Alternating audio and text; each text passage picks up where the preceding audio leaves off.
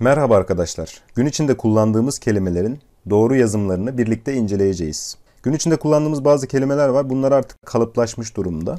Gerçekten şaşıracağınız çok kelime var. Hadi birlikte inceleyelim. İlk kelimemize bakalım. Aperitif kelimesi şeklinde yazılır. Aperatif değil. İkinci kelimemize bakalım. Stajyer. Stajyer değil. İnisiyatif. İnisiyatif değil. Genelde bunu inisiyatif olarak kullanırız günlük cümlelerimizde ama inisiyatif diye yazılır. Diğer kelimemize bakalım. Sömestir. Sömestr değil, genelde sömestr deriz ama sömestir diye yazılır. Diğer kelimemize bakalım. Muhatap. Söylediğim gibi tek T ile, muhatap değil. Genelde hani e, benle muhatap olma gibi cümle içinde kullanırız ama muhatap şeklinde yazılır. Oratorio. Doğru yazılımı budur arkadaşlar. Oratorio değil. Diğer kelimemize bakalım. Eşkıya. I ile yazılır. Eşkıya değil. Doküman. Doğru yazımı dokümandır. Döküman değil. Diğer kelimemize bakalım. Pardösü. Pardesü değil. Pardösü şeklinde yazılır arkadaşlar. Karna bahar. Karnı bahar değil. Diğer kelimemize bakalım. Kapüşon. Bildiğimiz kapşon denir genelde ama kapşon yanlış yazımdır. Kapüşon diye yazılır. Suspus kelimemize bakalım arkadaşlar.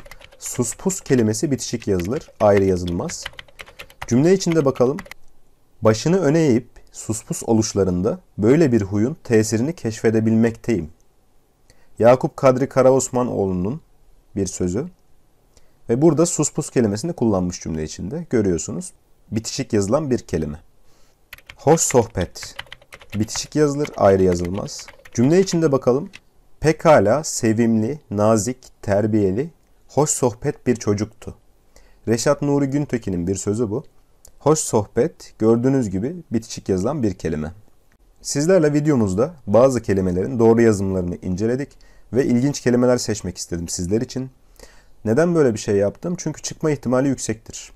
Yani şu kelimelerden biri sınavda karşımıza gelebilir ve hiç duymamış olmaktansa bunları bilmek çok çok önemli. Bizim referans aldığımız tek yer Türk Dil Kurumu'nun internet sitesi. Oraya girip tek tek hepsine bakabilirsiniz arkadaşlar. Size tavsiyem şu. Bir kelime gördüğünüzde bunun doğru yazımı ne diye araştırma yapmak isterseniz tek referans alacağınız yer Türk Dil Kurumu sözlü olsun. Umarım faydalı bir video olmuştur. Ee, giriş olarak böyle bir video düşündüm. Zaman içerisinde her dersten videolar yükleyeceğiz. KPSS motivasyon, e, bilgi paylaşımı olsun, pratik bilgiler olsun, güncel bilgiler olsun, ders çalışma programı, çıkmış soru çözümleri, konu anlatımı, aklınıza ne geliyorsa yıl içinde videolarını yapmayı düşünüyoruz. Siz de sağ altta yer alan abone ol butonuna basarak kanalımıza abone olup gönderi bildirimlerini açarsanız video yüklenir yüklenmez anında izleyebilirsiniz. Arkadaşlar sizden en önemli diyeceğim videonun altına görüşlerinizi yazmanız. Olumlu olumsuz tüm eleştirilerinizi bekliyorum. Bu bize yol gösterecektir. İstediğiniz dersler vardır, konular vardır. Bir dahaki video tarihten olsun, matematikten olsun böyle düşüncelerinizi, isteklerinizi yazabilirsiniz. Diğer videolarda görüşmek üzere. Sağlıcakla kalın.